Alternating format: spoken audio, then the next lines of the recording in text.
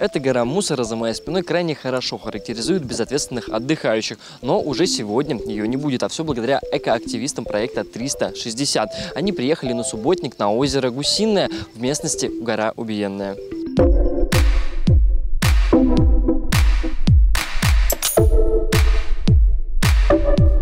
на самом деле. Очень много. Потому что, ну, еще учитывая, как он здесь находится, это больно становится очень. Здесь очень много отдыхающих. Когда э, в жар, самые, жа- самые жаркие дни здесь до несколько тысяч автомобилей, очень много отдыхающих.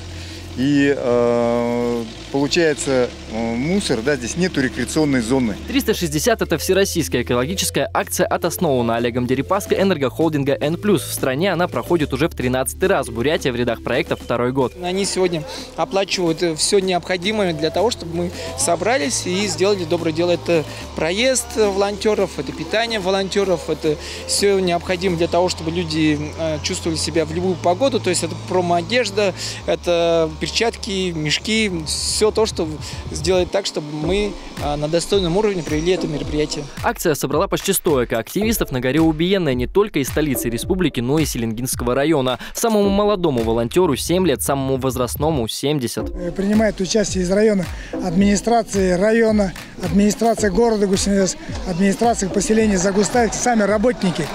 Простые жители, которые услышали об акции, они тоже приезжают сюда. Все места в Бурятии, да, они имеют свою красоту, свою значимость и свое богатство.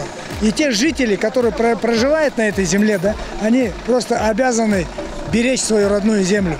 За несколько часов продуктивной работы волонтеры собрали почти 7 тонн мусора с горы Убиенная. Только вот мы, люди сами, мы ответственны за сохранение природы.